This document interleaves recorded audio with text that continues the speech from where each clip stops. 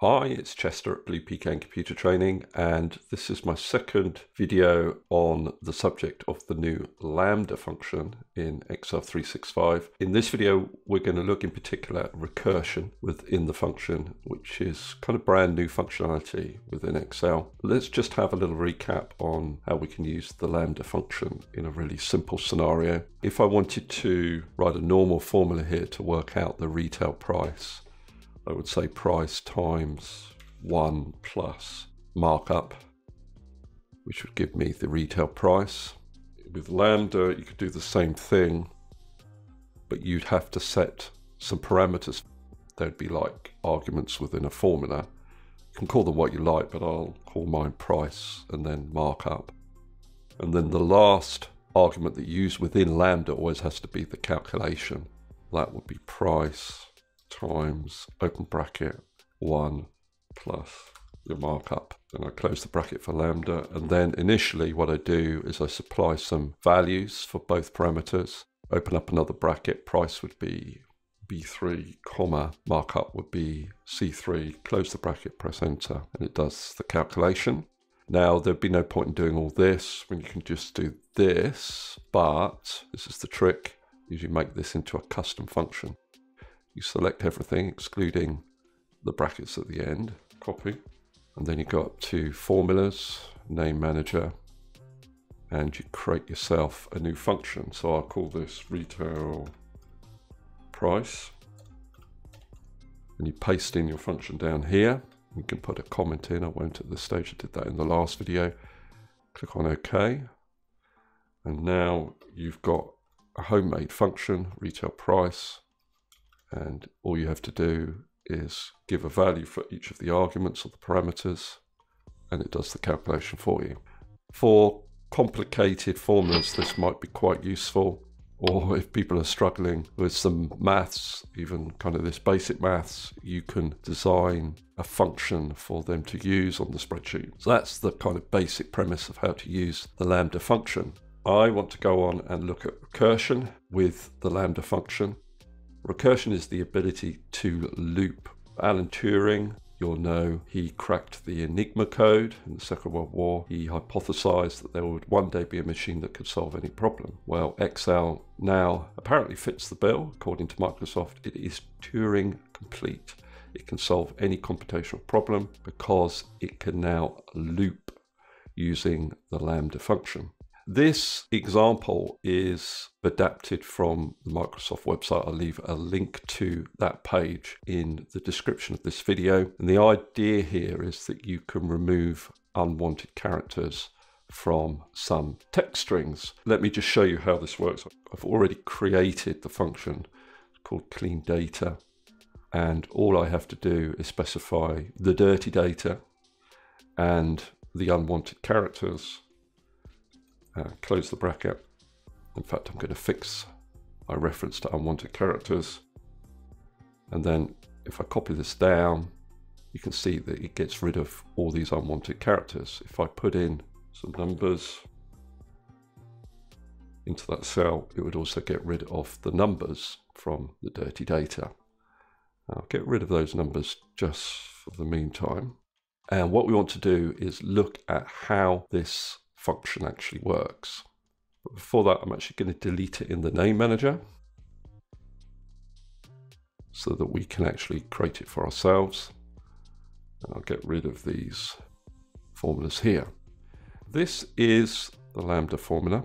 It has two parameters, one for the dirty data, so that's a reference to the data that you want to clean, and the second parameter refers to the unwanted characters. So these are the two parameters and this is the calculation. And there are two parts of the calculation. You've got this part which deals with unwanted characters and this part that deals with the dirty data.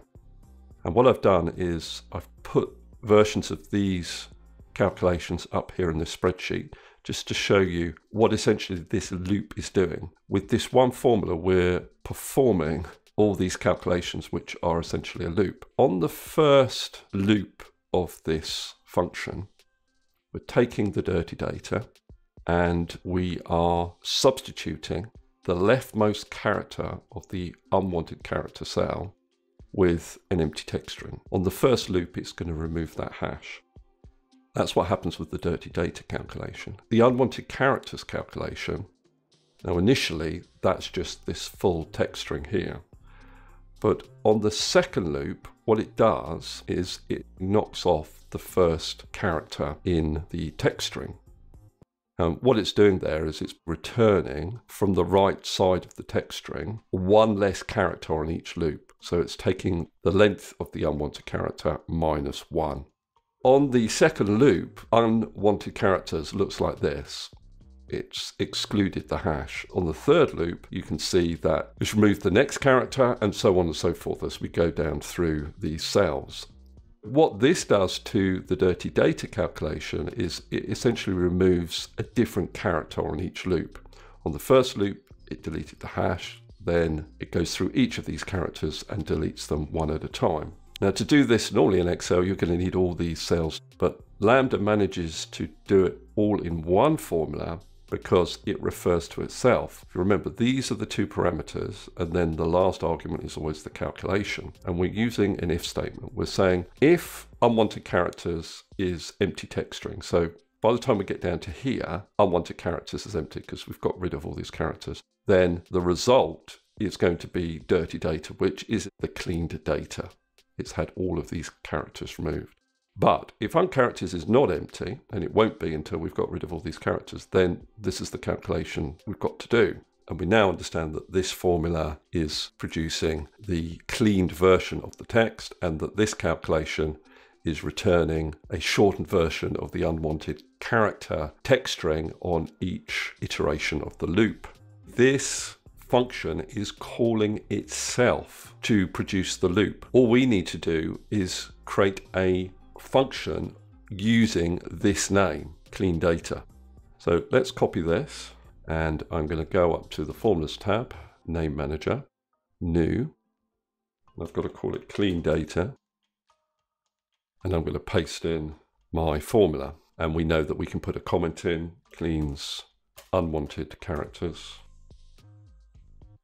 from data using the given d data and unwanted characters. Click on OK.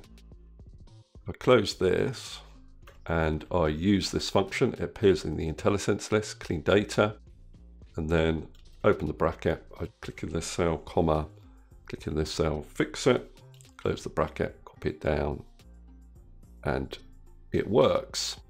So historically, the only way to have created a custom function in Excel would have been to use a VBA function.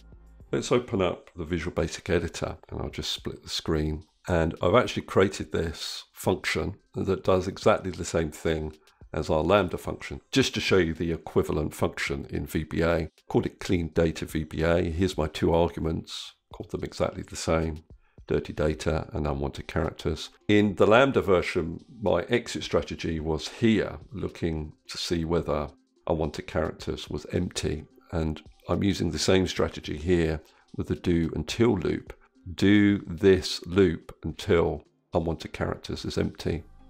And then these two calculations are exactly the same as the calculations here. I'm using replace rather than substitute, but here with unwanted characters, it's exactly the same calculation. And then at the end of the day, clean data VBA is equal to dirty data, which is the equivalent of the value of true within my if statement here. Close down the Visual Basic Editor. I use the VBA version of clean data. I select my dirty data, comma, select my unwanted characters, fix that, close the bracket, press enter and then copy this down and it works. If I add some numbers up here, it gets rid of the numbers also in the clean data.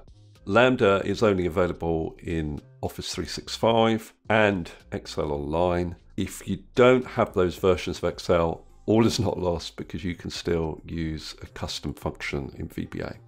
That's all I wanted to cover in this particular video. Hopefully you found it useful. Please subscribe if you have, and I'll see you next video.